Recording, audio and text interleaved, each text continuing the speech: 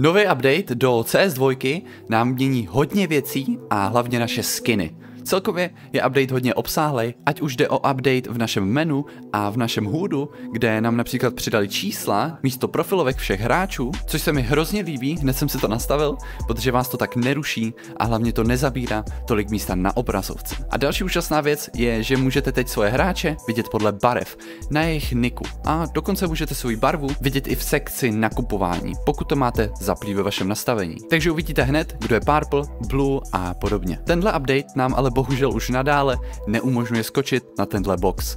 Pokud máte ale nějakýho teammatea, tak vás tam samozřejmě furt může boostnout. Když se vrhneme na takovou smutnější věc, tak nám už bohužel odebrali Michael Jackson Move, o kterém jsem včera dělal video, takže Smooth Criminal Book už je prostě pryč. Ale zase nám do hry dali Shakira Move, který je taky docela dobrý a klasicky tohle další chyba, která se objevila s tímhle updatem a počítám, že to v dalším updateu zase opraví. Možná už zítra. Kdybyste ale chtěli vědět, jak tohle to udělat, tak vlastně chodíte pospátku a stačí vlastně jenom klikat na Ačko a Dčko. Ale ještě než se vrhneme na ty skiny, tak jestli byste chtěli prodat svoje skiny rychle, jednoduše a hlavně bezpečně, je tady stránka Sell Your Skins. Prodávání vašich skinů je reálně instantní, průměrně do 5 minut máte vaše peníze na účtě, máte tady i mnoho možností, jak můžete dostat zaplaceno, jako je PayPal, bankovní účet nebo dokonce krypto. Za váš prodej můžete dostat i bonus, čím víc skinů tady prodáte, tím lepší dostanete bonus, které je dokonce navždy. Pokud použijete můj link v popisku videa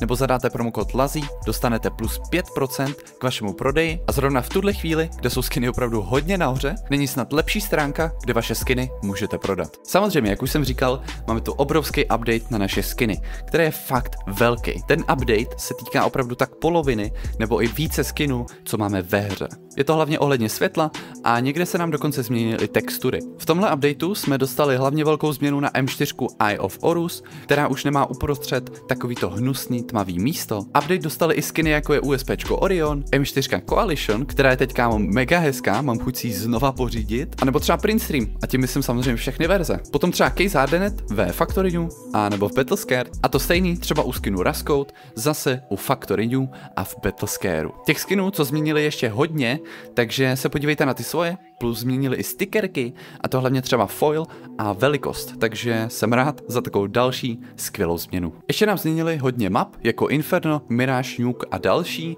kde hlavně třeba na mapě Inferno přidali tyhle desky, aby když sem někdo přichází, byl o něco víc vidět.